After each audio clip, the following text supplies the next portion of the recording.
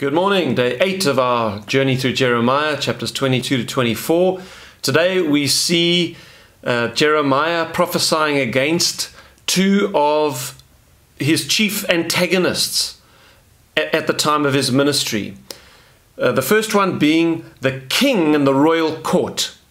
And uh, during uh, Jeremiah's prophecy, he, he began at the time of King Josiah, who was a righteous king. But from the time of Josiah onwards, uh, there were three of his sons reigned and one of his grandsons. And all four of those men were exceedingly corrupt and wicked. And um, to the detriment of the people that they ruled over, the people of Judah, they enriched themselves. This is the sort of height of corrupt uh, political leadership. And not only that, but they also led the people astray in their spiritual or religious life. And they had a willing ally in the form of a group of false prophets. And these false prophets were running around telling the people, um, everything's going to be fine, God is with us.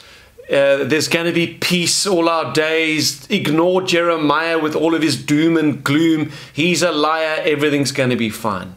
So you've got these two groups the corrupt politicians and the false prophets. And those two groups feature prominently in the prophecy of Jeremiah. And we see both of them in today's readings, chapters 22 to 24. And then in the middle of it, there is this prophecy uh, of a coming king who will take the throne instead of these other kings who are all corrupt, who will bring righteousness to the earth. Okay, so let's just read some of the words that Jeremiah predicts against these, uh, these kings, these sons of, of Josiah.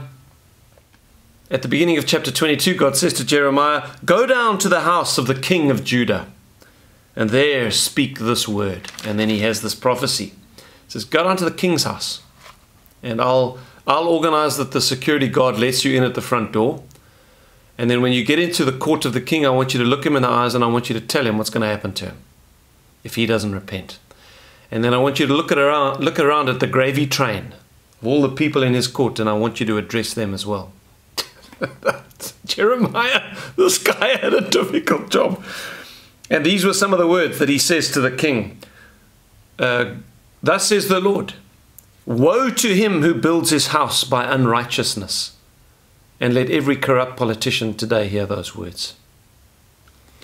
And his chambers by injustice, who uses his neighbor's service without wages and gives him nothing for his work who says, I will build myself a wide house with spacious chambers and cut out windows for it, paneling it with cedar and painting it with vermilion. Shall you reign because you enclose yourself in cedar? Did not your father eat and drink and do justice and righteousness? Your father Josiah was a righteous man, and you know that, says Jeremiah to Josiah's son. Then it was well with him it was well with your father Josiah, because he did righteousness. He judged the cause of the poor and the needy, then it was well. Was not this knowing me, says the Lord? The reason he ruled righteously was because he knew me, he served me. Yet your eyes and your heart are for nothing but covetousness, for shedding innocent blood and practicing oppression and violence. Therefore, thus says the Lord concerning Jehoiakim, the son of Josiah, king of Judah They shall not lament for him, saying, Alas, my brother, or Alas, my sister. They shall not lament for him, saying, Alas, master, or Alas, his glory. He shall be buried with the burial of a donkey, dragged and cast out beyond the gates of Jerusalem. Can you imagine?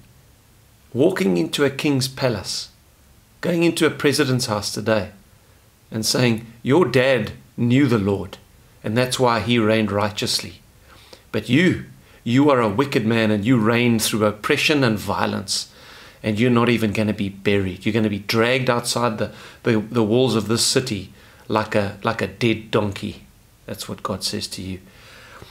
I mean, this guy's ministry. Anyway, so he gets to this point where he is now decrying the corrupt politicians. And then later in, in chapter 24, he, he starts to address those false prophets. But in the middle of all this, he says these words. This is the beginning of chapter 23. Woe to the shepherds who destroy and scatter the sheep of my pasture, says the Lord. So, why was God so angry with these kings who, who were corrupt and selfish? Because the, the kings of, of Israel and Judah, who were to sit, particularly the kings of Judah, who were to sit on David's throne, their primary call from God was not to be a king in the sense of all the other nations.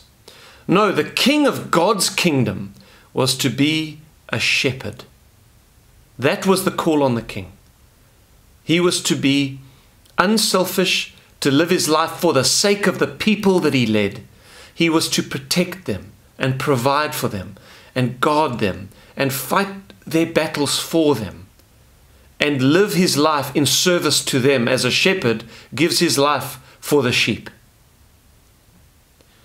This is the analogy that God uses for a righteous king. He is to be a shepherd. And he says to these corrupt kings, You are shepherds who destroy and scatter my sheep. Therefore, thus says the Lord God of Israel against the shepherds who feed my people you have scattered my flock, driven them away, and not attended to them. Behold, I will attend to you for the evil of your doings, says the Lord. But I will gather the remnant of my flock out of all countries where I have driven them, and bring them back to their folds, and they shall be fruitful and increase. So here's this, this prophecy again of a remnant that is going to be preserved through this destruction that's going to come to the kingdom. And God is going to bring this remnant back to the land. And then He's going to give them a king who will be a true shepherd to them. And this now is the prophecy that is made. I will set up shepherds over them who will feed them, and they shall fear no more, nor be dismayed, nor shall they be lacking, says the Lord. Behold, the days are coming, says the Lord, that I will raise to David a branch of righteousness. A king shall reign and prosper and execute judgment and righteousness in the earth. In his days, Judah will be saved and Israel will dwell safely. Now, it's almost like here's a mystery. This is his name by which he will be called. Now, now this is interesting. There's going to come a king who is born into the family of David, who will sit on the throne of David. He will be king over God's people in fulfillment of the covenant that God made with David those many years before, that your sons will always sit on the throne of my kingdom. There's going to come this, this king once the remnant has returned, and he's going to sit on the throne of David, and, and, and this will be his name. What, what will his name be? Yahweh. Tzidkenu is the Hebrew, which means Yahweh, our righteousness. That There's going to come a, a king, a human born king, who will sit on David's throne, who will rule over the kingdom of God's people and yet, he will be Yahweh. And he will be Yahweh, our righteousness. That Yahweh himself, the God of the Hebrews himself, will come in human form and he will sit on the throne of David and he will bring righteousness to God's people.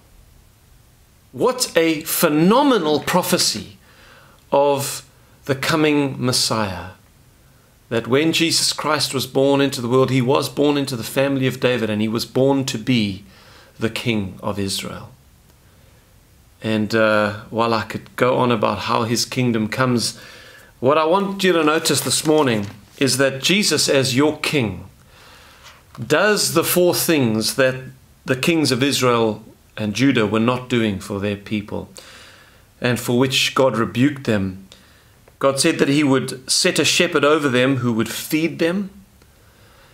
Your shepherd, Jesus, will feed you. He will give you everything you need. Give us this day our daily bread. We are allowed to pray that. Maybe you are one of those who just lives on the bread line. You're just forever running out of money. And, and I want to ask you have you ever gone without what you needed? Your shepherd will always give you what you need. Seek him, pray for what you need, and believe.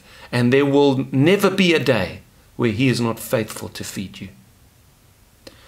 He will feed you. They shall fear no more.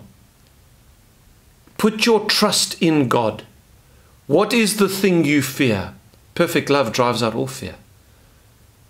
Take your requests to Jesus. Pour out your heart to Him. Tell Him, This is what I fear. This is what I'm facing, Lord.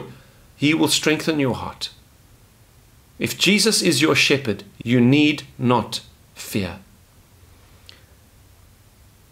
Nor be dismayed is there any situation in your life which leaves you completely without energy, without hope, without any sense of, of, of, knowledge or encouragement, that, that you just feel completely dismayed by something that's happened? You don't know what to do, you feel like you're completely defeated. If Jesus is your shepherd, he will lead you in triumph, and you will see your way through even the most difficult and darkest time. He will see you through. This too shall pass. If God is for you, who can be against you? In this world you'll have trouble, but be of good cheer. He has overcome the world. You put your eyes on Jesus and you pour your heart out to, to Him again this morning, and you will not completely lose hope. He will get you through because He's a good shepherd. And lastly, they shall uh, they shall not lack, neither shall they be lacking. A good shepherd makes sure that goodness and mercy follows his sheep. Do you lack any good thing? Seek God. You have not because you ask not. And sometimes you ask with the wrong motives, and so God won't give it to you. But if you're lacking anything that you need, you bring that request to Jesus, your shepherd, and he will provide for you. So, praise God for the King of Israel who now sits on the throne of David, who is our good shepherd. And I'll see you tomorrow.